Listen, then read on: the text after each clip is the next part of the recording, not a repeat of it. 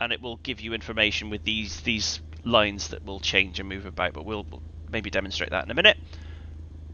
RPM for the engine.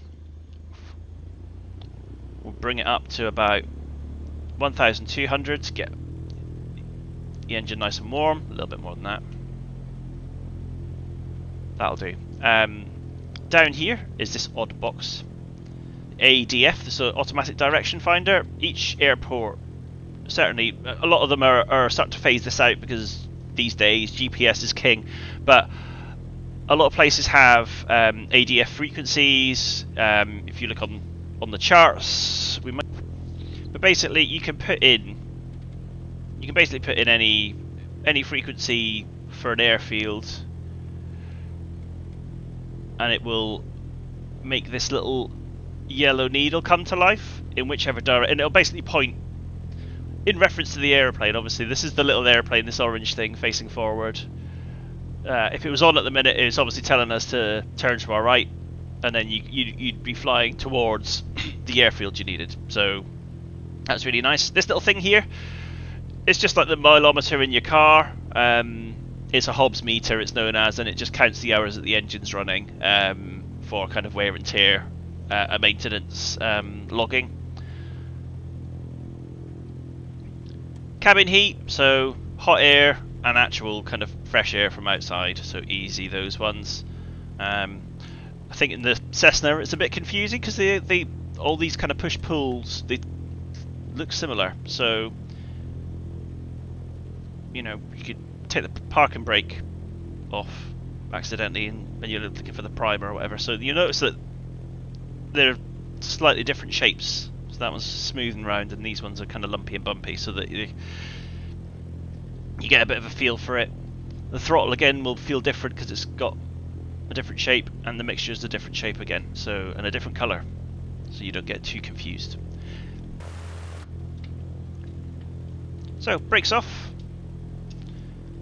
We're going to start rolling. There is checklists that you can go through. Um, you can find them up here. You hit the little tick, and it gives you everything to go through. If you really want to be smart about going step by step through all of this, if you can't find a particular item on the check checklist, there's usually the little eyeball icon you can press, and it will show you in the cockpit whereabouts it is. Um, it's very useful, really. But just going to taxi along. We're using our rudder. We're using the our feet to steer nothing's going on with um, the yoke. We want to go left, we go left. We want to go right, we go right. And it's um, the foot that's pushed out away from you is the direction that you go. I know sometimes people will set their rudder pedals up incorrectly, which causes them a real problem if they then go flying for real or something and they get a massive shock. So make sure that your rudder pedals are round the right way if you've gone and bought some. Now the controls, obviously this does nothing really. I mean, you can see a little bit of movement. There's probably a little bit of wind. So up and down, obviously we've got the, the wind kind of passing over the tail, so that kind of affects the impact of lifting and dropping the tail and the pressure on the nose wheel. So if you're in a soft field environment, you'll want to pull it back and just kind of wheelie a little bit, and it's just that kind of gentle surface pressure on the uh, front wheel.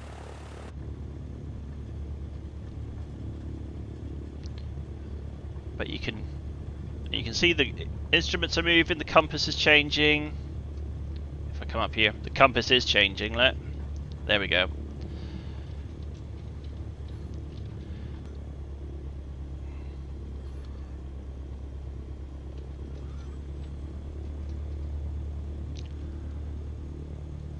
So before we take off,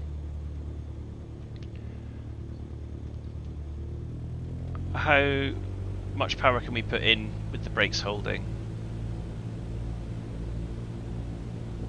We get it up to 2000. Looking at this up here. No, no, no, no, no, no. Right, the brakes aren't holding very well.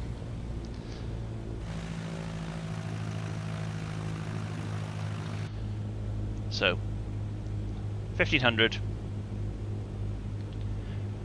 Switch the taxi light off, we'll switch the landing lights on because we're about to take off.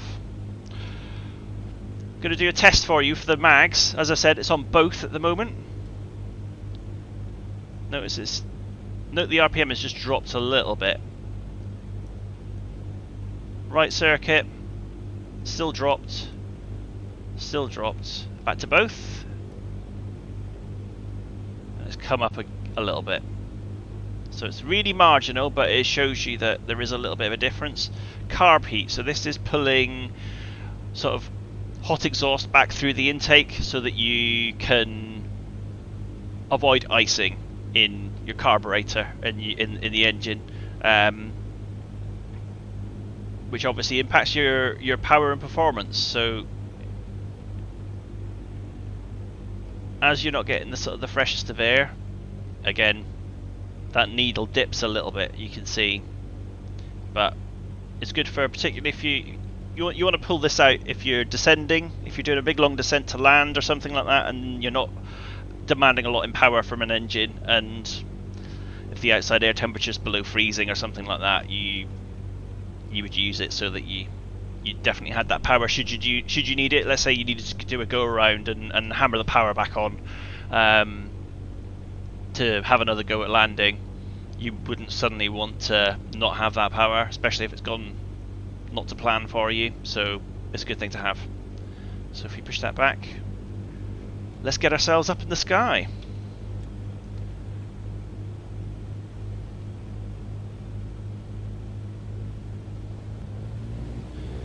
So we're going full power. The aeroplane wants to run to the left. You have to put in a bit of right rudder because the propeller's spinning one way, the aeroplane wants to spin in the other direction. Um, and it's that that causes this, this the torque, the twisting motion. It also means that the airflow is slapping this side of the rudder, so it's pushing you to the left constantly. So to balance, you've got to add just a little bit of right rudder, and that'll keep you straight, straight and balanced. Like this balance ball here, you can see it's off to the right. If I just put in a bit more, you get it in the middle. Been maybe a little bit generous with the trim.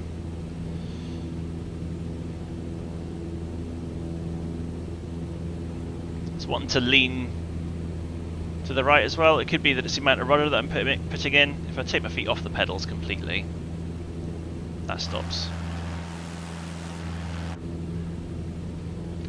We've got a nice temperature gauge up here. If we were not unsure about what the outside air temperature is, there you go, you've got that. You want to know how much fuel you've got? You've got that there as well. So yeah, our parking brake's definitely off. We'll switch our landing light off. And everything else is kind of where it should be. So we're up. If we can clean up the wing, that changes our sight picture outside and we can fly in a nice straight line. We can get optimum speed. Now we're hammering along at full power at the moment. We're redlining the engine. In Flight Simulator it's not too much of a problem, but it's not how you'd fly. You'd bring it back down to about 2,300-ish as a sort of a nice cruise. Trim the aircraft so that it's level. You know that this and this will tell you, yeah, as obviously as the speed's kind of dropping a little bit as we're balancing, we're losing a little bit of height. It should, even if you do nothing, it will kind of yo-yo to some sort of balance.